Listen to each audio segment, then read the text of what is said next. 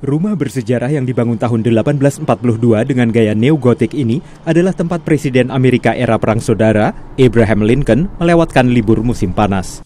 Di salah satu ruangan di pondok ini, Lincoln menandatangani proklamasi pembebasan para budak.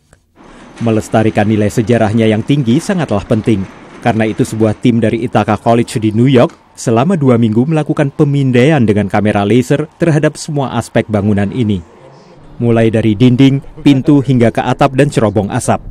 Menurut pimpinan proyek, teknologi telah menggantikan peran manusia.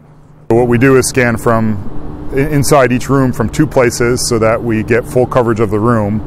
And then from outside, we'll scan from, with this building, we'll probably do about 12 different positions around the house. Di mana pun kamera ditempatkan, lokasi titik-titik yang dipindai berada di koordinat yang sama dalam rekaman kamera.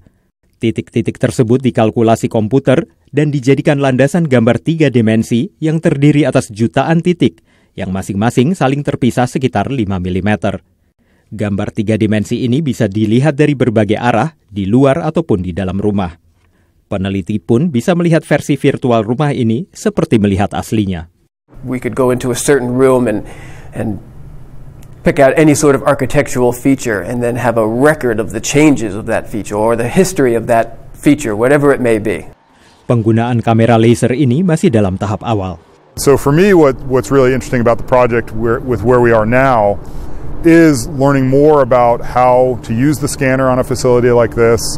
How do we do it efficiently?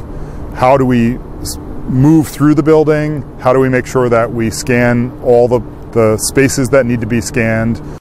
Selain lebih efisien, teknologi pemindaian laser juga dianggap mengurangi kesalahan pengumpulan data bila dilakukan manusia. Hasil pemindaian tiga dimensi ini memberikan gambaran mengenai kondisi bangunan saat ini dan akan menjadi panduan bagi upaya perbaikan ataupun restorasi di masa depan. Dari Washington, saya Helmi Yohanes dan tim VOA.